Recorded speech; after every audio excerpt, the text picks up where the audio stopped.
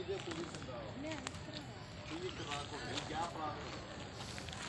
కొట్టు- కొడుతున్నాం కొట్టేటప్పుడు ఏటవుతుంది ఇది వచ్చేటప్పుడు ఇక్కడికి వస్తుంది.